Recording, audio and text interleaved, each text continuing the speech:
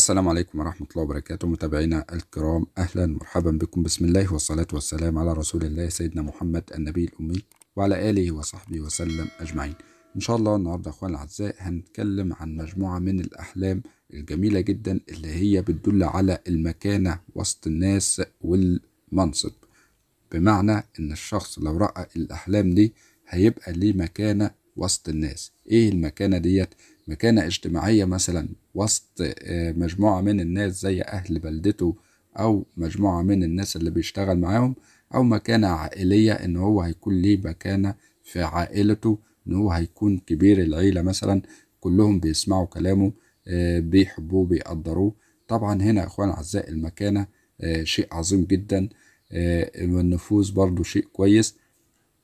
ولكن إن إحنا نستخدم الحاجات ديت أو الإمكانيات ديت بطريقة كويسة بطريقة ترضي ربنا سبحانه وتعالى إن إحنا نعدل بين الناس ونوزع الحقوق بالتساوي ما نظلمش حد ما نخليش نفسنا ننحاز لحد لو حد طلب مننا آه، التحكيم أو طلب مننا إن هو يقول كلمة حق أو إن إحنا نقول كلمة حق في في موضوع معين مثلا. فالمكانة وسط الناس اللي اللي ربنا يرزقه بيها يمشي بعدل ربنا سبحانه وتعالى عشان ربنا يديم عليه النعمة ديت. اخواني الاعزاء هنتكلم عن الأحلام اللي بتدل على المكانة بتدل على آه، التفوق بتدل على النفوذ. هنتكلم عنها بالتفصيل ولكن قبل ما نخش في تفاصيل الفيديو احب أقول لكم اشتركوا في القناة وفعلوا زر الاشارات ليصلكم جميع فيديوهاتنا باستمرار. أول حاجة يا الاعزاء من الرؤى المهمة والرؤى العظيمة جدا رؤية التسابق في المنام. يعني إيه رؤية التسابق أو رؤية التنافس في المنام الرؤية دي رؤية مهمة جدا ناس كتيرة بتشوفها ولكن بطرق مختلفة ما بنشوفهاش بالطريقة الصريحة اللي إحنا مثلا بنسابق حد أو بنتنافس مع حد في شيء معين ممكن نشوفها بطريقة غير مباشرة. آه طيب خلينا إن إحنا نقول إيه رمز التسابق؟ آه، يدل على إيه مثلا؟ بيدل على إن في ناس منافسين ليك في أمر معين. آه، ممكن أنت تكون مثلا مقبل على شغل. الشغل فيه تنافس.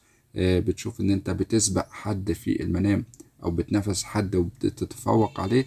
دي طبعا بتكون رسالة مهمة جدا للرائي لأنه هيقدر يتغلب على خصوم هيقدر يتغلب على منافسين ليه. هيبقى صاحب منصب أو صاحب كلمة أو صاحب مكانة بين الناس اللي حواليه. ممكن يكون التنافس ده أو المسابقة دي في الشغل بتاعك نفسه إن أنت مثلا بتتنافس مع زمايلك على موضوع معين آه، اللي هيقدر ينافس واللي هيكسب هو اللي هيبقى المدير مثلا. كمان يا إخوان أعزائي من الرؤى المهمة اللي هي بتدل على المكانة وسط الناس الصلاة بالناس. إن أنت بتشوف نفسك بتصلي بالناس في المنام. بتشوف نفسك إمام مسجد مثلا. بتشوف نفسك بتخطب بالناس. في آه، المنام.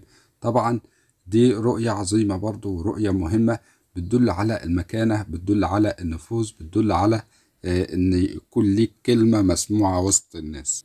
كمان ممكن تلاقي نفسك آه، مش بتصلي بالناس تلاقي نفسك إن أنت بتعلمهم أمور معينة بتعلمهم دروس دينية معينة مثلا في المسجد. فهنا برضو إشارة إلى إنك بإذن الله هتبقى آه، كلمتك مسموعة أو هتبقى عندك مكانة مهمة آه، ومكانة كويسة بين الناس. الناس هتحترمك الناس هتقدرك الناس هتسمع كلامك في أمور معينة. وغالبا ممكن يكون الأمر اللي أنت هتبقى ممكن فيه ده أمر اجتماعي يعني مش أمر ع- عائلي أمر خاص بناس كتيرة أنت هتقدر تكون مسيطر عليهم أو إن أنت مثلا تكون كلمتك مسموعة بينهم. أيضا يا اخوانا أعزائي رؤية توزيع المياه والطعام في المنام. رؤية كويسة جدا بتدل على أمور كويسة جدا في حياة الشخص إنك تشوف نفسك بتوزع المياه للناس بتوزع الأكل على الناس آه، بتوزع مثلا الأكل على أهل بيتك بتوزع على ناس ما تعرفهمش. فهنا يا أخوان الاعزاء بتدل أيضا على آه، الرزق الواسع اولا بتدل على تحقيق الأهداف والطموحات وبتدل على المكانة بين الناس إن أنت تكون مسؤول عن التوزيع أو أنت مثلا ناس كتيرة وانت اللي مسؤول عن المياه ديت أنت اللي بتوزعها أو أنت اللي بتوزع الأكل. دي حاجة كويسة جدا بتدل على المكانة بتدل على التفوق في أمور معينة بتدل على الرزق الواسع والخير بإذن الله. وربما أنت تكون آه، صاحب أرزاق كبيرة جدا. من خلالها هتقدر تعمل أعمال خير وتساعد ناس معينين في حياتك. فطبعا كلمتك هتبقى مسموعة وهيبقى ليك التقدير والاحترام. أيضا من الرؤى المهمة جدا اللي هي بتدل على المكانة والنفوذ والسيطرة رؤية السيف في المنام. إنك تشوف نفسك مثلا ماسك سيف في المنام أو إن في حد بيهديك سيف في المنام أو مثلا مسكت سيف شخص مهم في المنام زي مثلا السيوف بتاع الصحابة السيوف بتاع الرسل هنا بتكون إشارة مهمة جدا لأن الشخص ده من المميزين. الشخص ده ممكن يبقى ليه نفوذ كبير جدا. ممكن يبقى مثلا حاكم لمدينة ممكن يبقى مدير في شركة ممكن يبقى مثلا رئيس دولة. عموما رؤية السيف رؤية مهمة بتدل على قوة النفس بتدل على قوة النفس بتدل على عزة النفس أيضا. بتدل على المكانة والنفوذ وسط الناس. بيبقى الشخص اللي بيشوف الرؤية ديت إن هو بيتحكم في السيف مثلا إن هو صاحب سيف يدل أيضا على الحزم والصرامة والقوة في أمور كتيرة جدا في حياته. ومن خلال الرؤية ديت نقدر نقول للشخص اللي بيشوف السيف ده أبشر بشارة كبيرة جدا أنت ممكن تبقى حاجة مهمة في الفترة القادمة. كمان إخواني الأعزاء من الأمور الكويسة والرؤى المهمة جدا رؤية التحكيم بين الناس.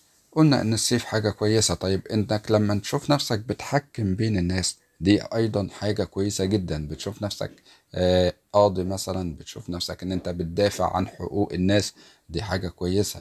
فهنا بتكون رسالة مهمة جدا ليك كرائي أو للشخص اللي بيشوف الرؤية إن هو بإذن الله يعني هيكون عنده مكانة هيكون كلمته مسموعة بين قرايبه بين ناس مثلا في مدينته ناس أصدقاء شغل ولا حاجة. فهنا رؤية التحكيم بين الناس دي حاجة كويسة جدا وربما بتكون رسالة ليك إلا إن أنت تعدل في أمور معينة.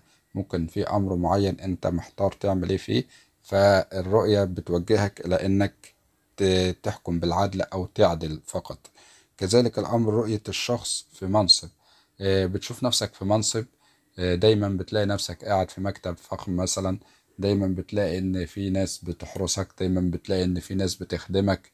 حاجات كتيرة جدا من أمثال إن الشخص في منصب مثلا بتلاقي نفسك إن أنت بتوقع على أوراق مثلا معينة بتلاقي أمور في حياتك أو في المنام.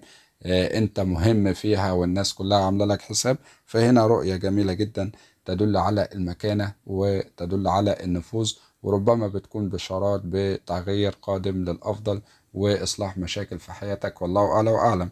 أتمنى يا أخواني الأعزاء إن الفيديو يكون عجبكم. ما تنسوش تشتركوا في القناة وتفعلوا زر الإشعارات ليصلكم جميع فيديوهاتنا باستمرار. وشكرا. والسلام عليكم ورحمة الله وبركاته.